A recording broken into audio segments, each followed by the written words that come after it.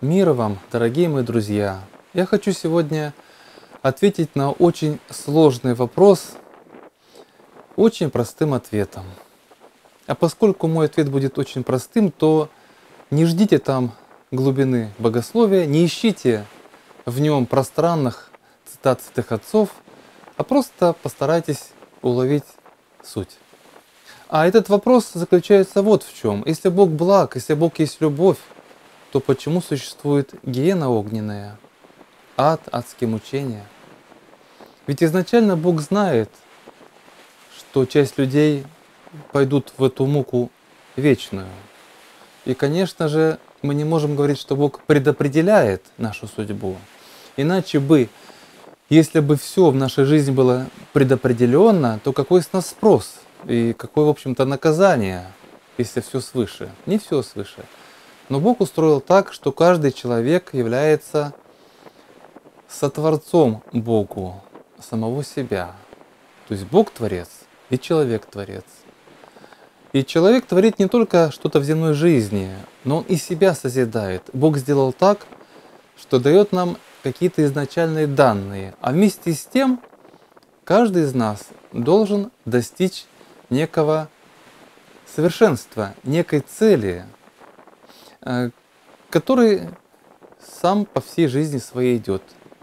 Во-первых, человек должен определиться в своем направлении своей души к небу, к земле и так далее. Во-вторых, человек сам определяется, я хочу быть таким, лживым или правдивым, ленивым или трудолюбивым, добрым или эгоистичным, злым и так далее. Этот человек сам для себя решает, каким я хочу быть.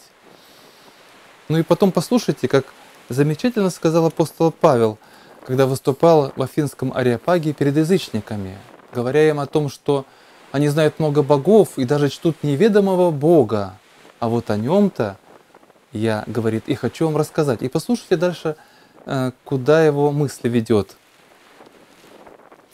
От одной крови Он, то есть Бог, произвел весь род человеческий для обитания по всему лицу земли, назначив предопределенные времена и пределы их обитанию, дабы они искали Бога, не ощутят ли Его и не найдут ли, хотя Он и недалеко от каждого из нас. Посмотрите, Бог создал человека и расселил людей по земле от одной плоти и крови, это Адама, то есть, для того, чтобы люди искали Бога. Мы здесь, в земной жизни, для того, чтобы искать Бога. Не ощутят ли Его, не найдут ли Его, хотя Он, говорит, недалеко от каждого из нас.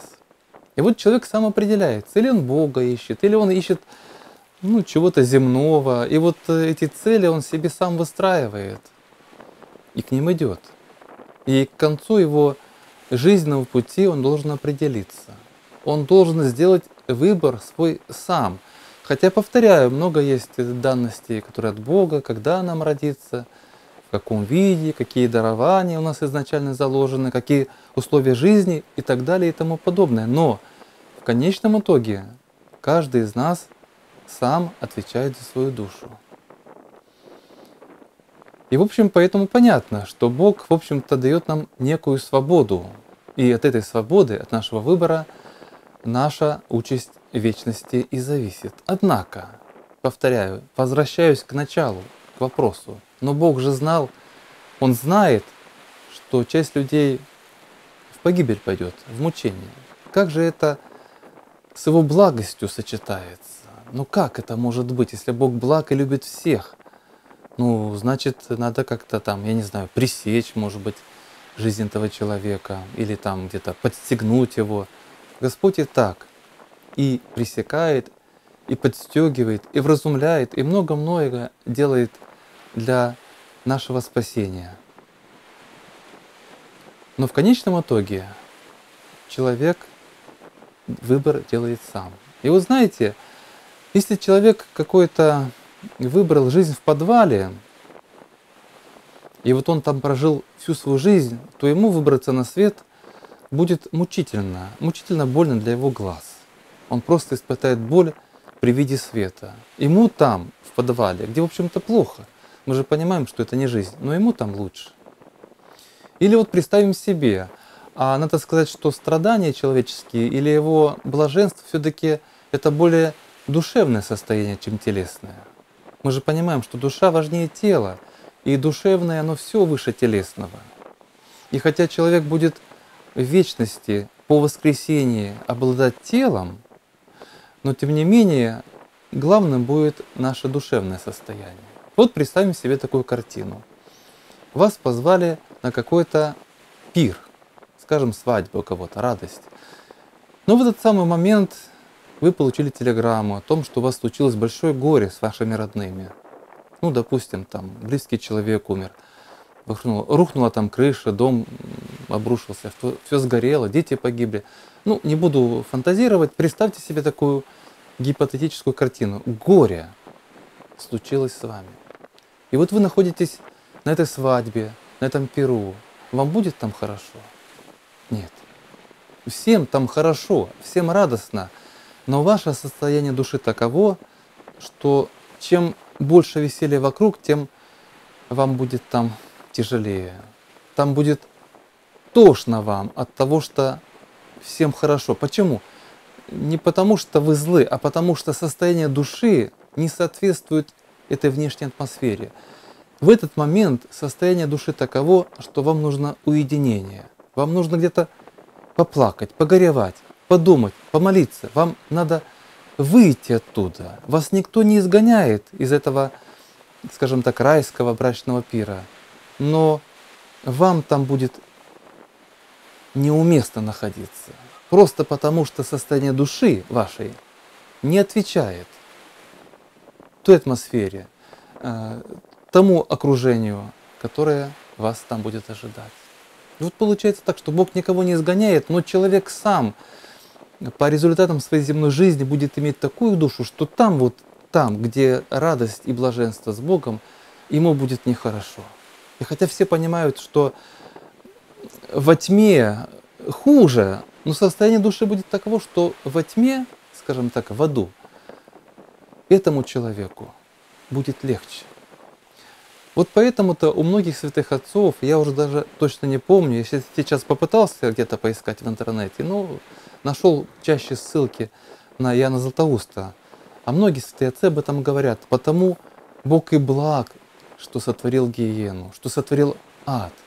А Иоанн Дамаскин сказал, что от, нашего, от нашей способности воспринять блаженство, благодать Божию, и зависит состояние нашей души. Если мы способны воспринять это, усвоить это, присвоить, ну, как бы прочувствовать, насладиться этим, то нам это будет открыто. А если мы не способны, то не Бог от нас забирает райское блаженство и радости, а просто мы будем не способны наслаждаться. В Евангелии от Матфея есть замечательные слова, которые сказал Господь о тех, которые оказались недостойными быть одесную Его. Смотрите, Он говорит, «Идите от меня, проклятый, во огонь вечный, уготованный дьяволу и ангелам Его». Огонь вечный не для людей создан, ад не для людей, а для дьявола, для его падших ангелов, не для человека. Но если человек сам избирает для себя быть не с Богом, а с дьяволом, то его свобода, его богодарованная свобода – это неотъемлемое его право. И даже Бог не может посягнуть на тот дар, Э, которым наделил человека, на дар его свободы, на дар его выбора. Вот человек решил так. И Бог говорит, ну, раз ты так решил, значит, так тому и быть. Вот я недавно специально открыл люк водопроводный. И оказывается, знаете, там во тьме и в сырости есть своя жизнь. Там какие-то мокрицы бегают, ползают, там слизни, слизняки, какие-то тараканы – вот там плохо, но их жизнь проходит там. И если этого слизня, слизняка оттуда вытащить и на солнышко, то на солнышке ему будет плохо. Вот смотрите, такая картина, мне кажется, очень живописная. Она очень хорошо открывает нам ответ на вопрос, почему некоторые окажутся в аду, и там в аду им будет лучше, чем в свете и в блаженстве райского пребывания с Богом. Представьте себе, что человек стал слизняком. У него есть еще память о том, что он человек, богоподобен и способен к радостям райским. У него это еще есть, но уже он слизняк. И пометуя то, конечно же, он будет переживать страдания мучения, что оказался в этом колодце. И вся его жизнь будет там, во тьме, в сырости, с тараканами, с этими мокрицами. Но вместе с тем ему пребывать на свете, на солнышке, будет невозможно. Вот там он может жить, а там просто ну, не в состоянии будет. Мне кажется, это простой и весьма доходчивый, понятный ответ на очень сложный вопрос. Философский, богословский, жизненный вопрос, почему существует ад, если Бог благ. Вот, братья и сестры, чем я хотел с вами поделиться такими размышлениями. Благословил вас всех Господь.